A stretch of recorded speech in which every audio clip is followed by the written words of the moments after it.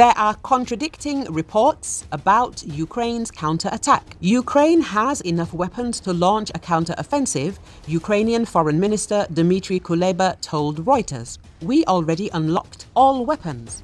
There is nothing big left to fight for. He was quoted as saying, However, the minister did not answer the question whether Ukraine has already started its counter-offensive, saying that what matters most is not when it started, but that it brings victory for Ukraine.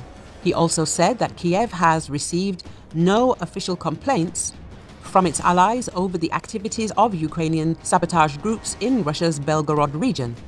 Touching on Ukraine's possible accession to NATO, Kuleba said its membership in the alliance will not stop the conflict, but NATO membership will stop further wars. This is why the best way to ensure security in the region is to come to the moment when Ukraine becomes a member of NATO, he added.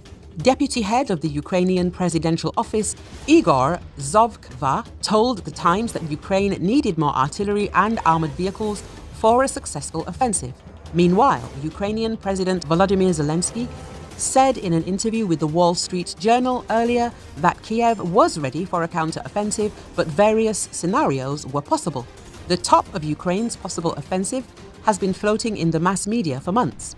Russia's foreign ministry said earlier that the West's speculations about Ukraine's counter-offensive only prove its direct involvement in the conflict.